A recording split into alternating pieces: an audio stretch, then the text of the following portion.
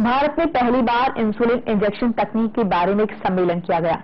बता दें कि एफआईटी एक अंतर्राष्ट्रीय संगठन है जो मधुमेह नियंत्रण के लिए इंसुलिन इंजेक्शन के बारे में जानकारी देती है। और पूरे विश्व में भारत ऐसा छठवां देश है जो इस संगठन से जुड़ रहा है। ये संगठन तेरह डॉक्टरों के साथ भारत में शुरू किया जा रहा है। इस संगठन की ओर से पूरे भारत में सभी डॉक्टर्स और नर्सों को इंसुलिन इंजेक्शन की तकनीक के बारे में जानकारी दी जाएगी। साथ ही जनता को भी जागरूक किया जाएगा। इस मौके पर हमारे संवाददाताओं ने कुछ डॉक्टरों से इंसुलिन तकनीक के बारे में बात की।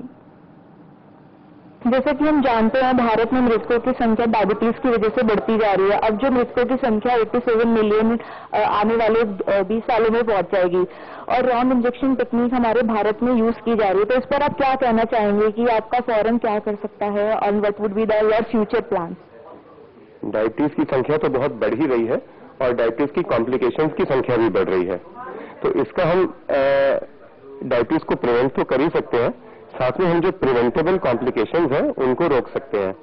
एक जो हमें चीज़ करनी चाहिए कि इंश्योर करना चाहिए कि जिन लोगों को डायबिटीज़ है, वो इंसुलिन से ना डरें।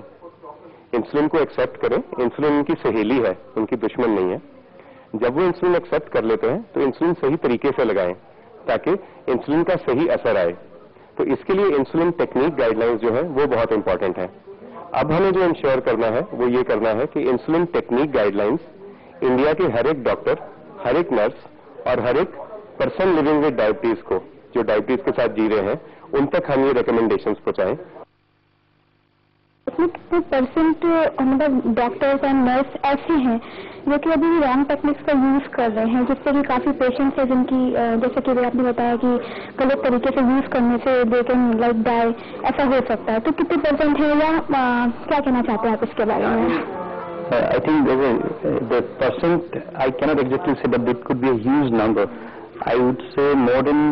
At least 70% of the doctors who are actually treating diabetes because we do have many endocrinologists in India.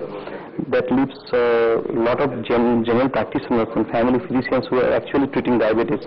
And you cannot blame them also because there has not been any guideline till now as to how you teach your patients to inject insulin. So the actual method of injecting insulin, the proper method has not been maintained in most of our patients.